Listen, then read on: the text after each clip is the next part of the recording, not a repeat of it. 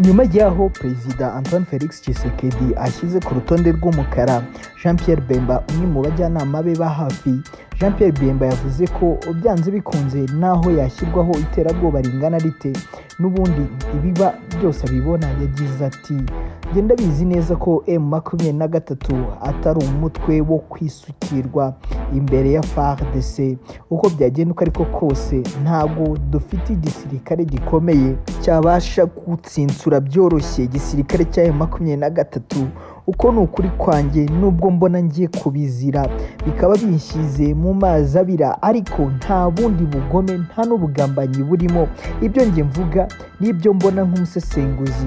Ndabizi neza ntabwo nigeze mba umusirikare ntabwo nzi iby'intambara ariko ndi umwe mu bapolitisiye bazi neza icyo intambara ivuze. Ndi n'umuntu uzi agaciro k'igisirikare ku rugamba.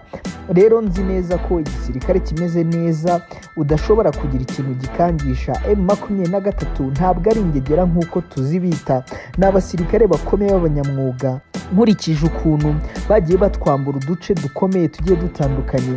Ntabwo ari ibintu byoroshye habe na gatoya. Ndagira ngo mbabwire neza ko nubwo mbizi ko ubuzima bwanjye buri mu kaga kubera ko ngo natangaje amagambo ashobora kuba yampitana ariko mbizi neza ko uko byagenda uko ariko kose emu makumyabiri na gatatu igisubizo cyiza ni uko twakwicarana nabo ku meza gusa tugafata umwanzuro ni cyo cyonyine cyadukiza uburakari bwabo. Naho ubundi sinigeze mfobya igisirikare cyambyaye cyitwa fardc fardc ni igisirikare cyiza ni igisirikare gifite imbaraga ndabyemera. Ariko bahanganye n'abandi bantu bafite imbaraga. Njyewe nta hantu na hamwe mbogamiye. Mbogamiye gusa mu kureba neza ikibazo cyakemuka gute. Ese ibibazo igihugu cyacu kirimo bizakomeza kurangira gutya. Ndagira ngo rero mvuge neza nubwo nkomeje kuzira umutwe wa makumyabiri na gatatu nabo barabizi neza ko nta hantu na hatoya mpuriye nabo ndetse kandi ko nta bufasha na butoya bunagombaga kuba nabahereza cyangwa nigeze mbahereza. Ibi rero reka mvuge ko biri gushimisha makumyabiri na gatatu kubabona dukomeje gusubiranamo tukamarana. Twe twakabaye duhuza imbaraga tukaba twabarwanya bakabona turi kuryana. Barabizi neza ko ahubwo aba baha ubufasha tutajya tubatekereza nubwo wabakeka kuko bo barahari. Ahubwo ikibazo ni ukubona twebwe ubwacu ari bwo twakabaye twishakamo ibisubizo ariko bikarangira tubyibuzemo ahubwo tukaryana. Iyi ni insinzi ikomeye kuri emu makumyabiri na gatatu.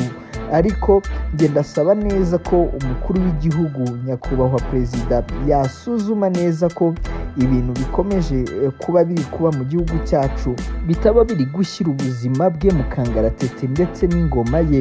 Kuko ntabwo njye numva uburyo nshobora gushinjwa nkashyirwa no ku rutonde rw'umukara. Mu bantu ngo bakomeje gutanga ubufasha kuri emu makumyabiri na gatatu ari ibyo nakabaye naratumye ubutegetsi buhita buvaho igitaraganya.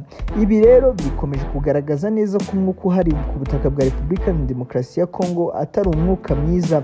Mu gihe abasirikare abapolitisiye bose bakomeje kutumva rumwe na perezida antoine felix Tshisekedi. Ibintu byaba bigiye gukomeza kuba bibi cyane ku rwego rwo hejuru. Ibi rero ni kimwe mu bikomeje gutuma agatotsi n'umwuka mubi ukomeza kuvuka.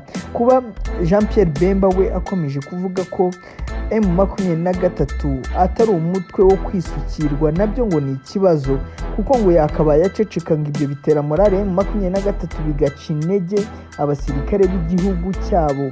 Ubu rero hakomeje kwibazwa ikintu kigiye kuba nyuma y'aho bigaragara neza ko umwanzuro ushobora kuba wamaze gufatwa niba na ngombwa mu masaha ari imbere uyu jean Pierre bemba ashobora kweguzwa igitaraganya ku mirimo ye maze agakomeza gukurikiranwa n'inzego zibifitiye ubushobozi. Ibintu abanyekongo batari kwishimira habe na gatoya bakagaragaza neza ko ngo abasangira ubusa bitana ubusambo. Naho dukomereje mu yandi makuru. Nyuma y'ibitero bikomeye umutwe wa fdrr wagiriye muri teritwari ya rutsuru ku mugoroba watambutse. Byatumye umutwe wa makumyabiri na gatatu uhita ukora inama n'abaturage bababaza icyo bagomba gukora ndetse n'imbaraga bagomba gushyiramo. Bivugwa neza ko mu nama ya makumyabiri na gatatu yagiranye n'abaturage yatangiye kubabwira ko nabo igihe kigeze ngo batangire kwicungira umutekano bwabo ndetse kandi batangire bakore buri kimwe cyose gishoboka barebe ko bashobora kujya kuzajya barwanya iyi mitwe y'iterabwoba nk'uko byatangajwe n'umwe mu bayobozi bakomeye muri FDLR Sultan Makenga yagize ati ndabizi neza ko mukora muhohoterwa n'abantu bitwaje intwaro ndetse bitwaje icyo ari cyo ndetse n'uko bashyigikiwe n'ubutegetsi bubi buriho hano muri Congo. Bigatuma umunsi ku munsi bakomeza kugenda bahunyura ubuzima bwanyu. Ndagira ngo mbabwire neza ko bariya baza bakabarasa bakabica ari abantu nkamye. Ndetse kandi ko ibyo bakora namwe mwabishobora. Ntabwo ndimo mbashishikariza kubikora murimo mwica abantu. Ariko ndagira ngo mugire umutima ukomeye mutangire mwige uburyo bwo kwicungira umutekano no kwirwanaho. Ntabwo bazajya baza gutya gusa ngo bagende babiciye abantu mukunda babicire babasahure banze babatwikire n'imitungo yanyu ngo murebere. Muri abantu b'abagabo mwabasha kwihagararaho mwabasha kurwanya umwanzi mu buryo bwose ashobora kuba yazamo. Ndagira ngo mbabwire neza ko kugeza amagingo nta wundi muntu wabasha kubahagararaho. Nibyo koko twe turi kurwanira inyungu zanyu. Turi kurwana n'iyi mitwe y'iterabwoba murabibona. Dukora ibishoboka ibyo ari byo byose nubwo guverinoma ya kisekedi ihora igenda itwanduriza izina ngo turi umutwe w'iterabwoba ariko mubizi neza ko ukuri guhari. Ntabwo n'umunsi n'umwe twigeze dushaka gutuma umuturage abaho adafite ukwishyira akizana. Ndagira ngo mbabwire neza mwese nzi neza ko amakuru muyazi. Muzi ibyabaye kuri bagenzi banyu bo mu gace ka teritwari ya rutsuru. Mwabonye ibyo bakoze ni ubunyamaswa. Nta kintu na kimwe bitayeho. Tekereza kubona inka zirenga magana atatu uzicwa kandi atari uko zagize ikosa na rito. Ese koko niba guverinoma y'igihugu cya repubulika na demokarasi ya kongo yitaye ku baturage yatuma ikosa nk'iri ribasha gukorwa gute? Ese koko isobanura ko uruhare rwayo mu gucunga umutekano w'abaturage ari uruhe? Ndagira ngo rero mutangire mumenye uko bimeze muhaguruke mudufashe kurwanya umwanzi. Nzi neza ko byanze bikunze tuzagera ku cyo dushaka.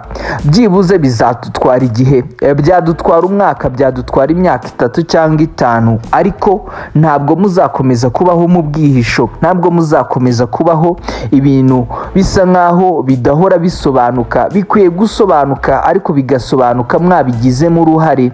Aya ni amagambo akomeye yagiye atangazwa na jenerali sultan makenga aho yashishikarizaga bamwe mu baturage bo mu gace umutwe wa makumyabiri na gatatu uherereyemo bababwira neza ko bakwiye kuba maso bagatangira kwirwanaho kandi bakabikorana imbaraga zikomeye. Ibingibi sultan makenga yagiye akora birasa nk'ibijya kubwira abaturage ko igihe kigeze ngo bereke leta ko nabo ubwabo bafite inshingano zo kwicungira umutekano.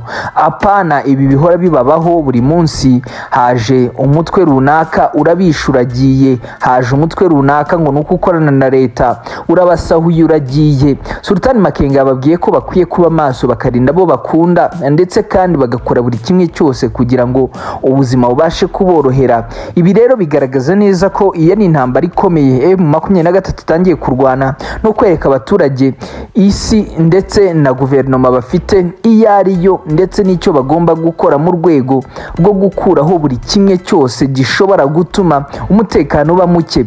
Hari abasesenguzi batangiye kuvuga ko byanze bikunze mu gihe iyi propaganda ya makumyabiri na gatatu yaba ibashije gukunda gucamo. Byanze bikunze ko yaba ari intambara ikomeye kuri antoine felix Tshisekedi uyoboye iki gihugu cya repubulika iharanira demokarasi ya kongo